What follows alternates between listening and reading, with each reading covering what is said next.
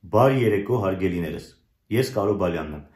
Ռեժիսոր, Երևանի Շեքսպիրյան միջազգային թատերական փառատոնի տնօրենը։ Ես նույնպես միացել եմ մնատանը նախաձեռնությանը, որ เป զի իմ լուման ներդնեմ կորոնավիրուսի կանխարգելման գործում։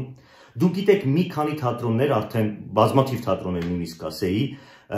ոչ հայաստանյան, նաև արտերկրի միացել են on-line դիտումներին։ Շեքսպիրյան փառատոնը նույնպես։ Եվ մարտի 25-ից օրը մեջ 21:30-ին Facebook-յան էջով Շեքսպիրյան փառատոնի դուք կարող եք դիտել աշխարհի ամենաաղմկահարույց ներկայացումները Շեքսպիրյան թեմայով։ Որպես օրինակ ասեմ,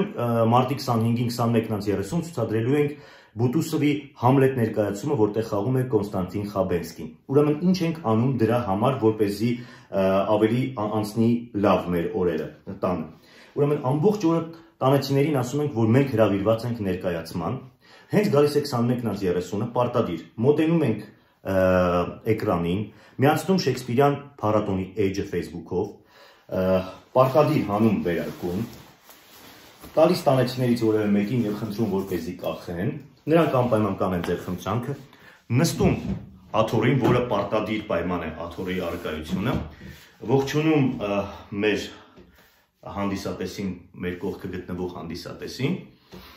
ահա ծափ տալիս պարտադիր ծափահարում եւ 21-30 ուղիղ դիտում Շեքսպիրյան ներկայացումները Շեքսպիրյան փառատոնի էջով մնացեք տանը եւ եղեք առողջ Thank you.